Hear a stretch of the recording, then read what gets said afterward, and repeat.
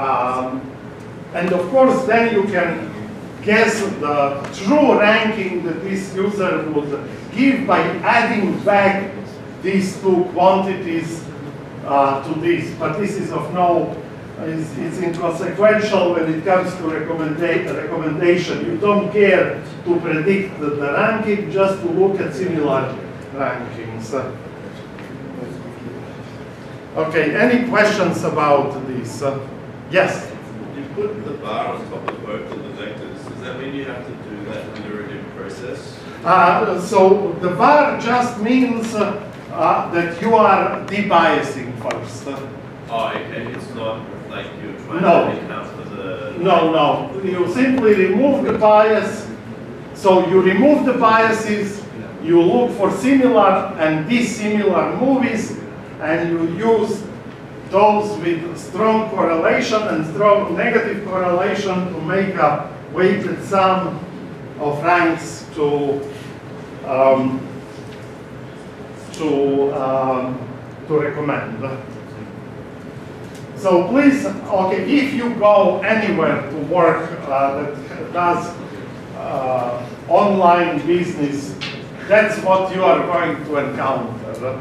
So it's very well worth understanding this and look, it's just a quadratic function of minimization, so it's, uh, it's just really basic algebra, but it does incredibly, uh, it has incredibly good results.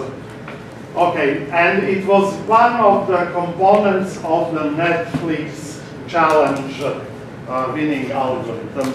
Now, notice that here we didn't take time into account.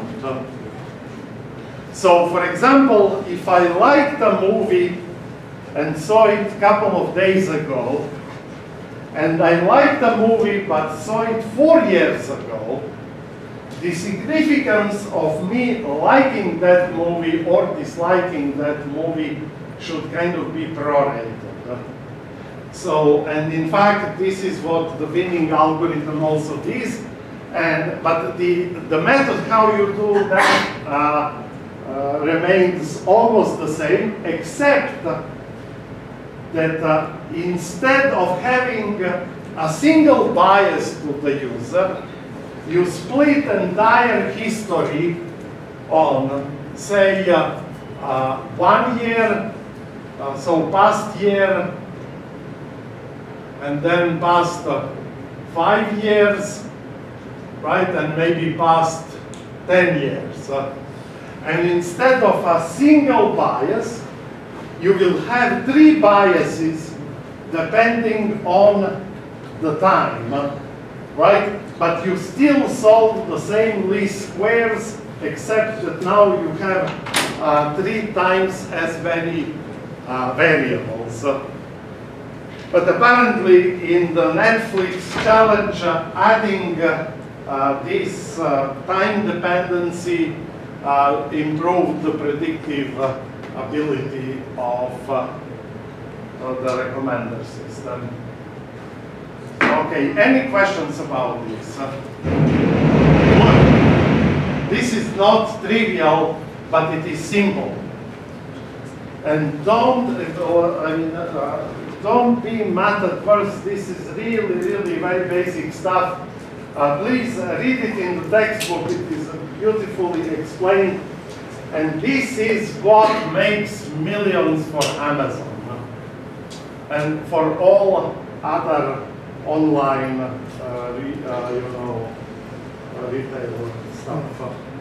So um, that's first type of recommender uh, systems. There is another uh, important kind which uh, it does not rely on this notion of the angle between uh, users or movies. So this angle is, in a sense, distance between uh, vectors, right? Uh, quote unquote distance. Um, so another method so the winning, so in this Netflix challenge, uh, very quickly, within months, uh, um, people were able to beat the Netflix recommender system. But then uh, the improvements became minuscule. And eventually, amazingly enough, uh, so how do you evaluate a recommender system? You simply take this matrix that I erased and you remove some of the values. And then you use this method to guess the values that you removed. And you see what is the Euclidean distance between true values, right? So in the matrix that you had, um, me show you.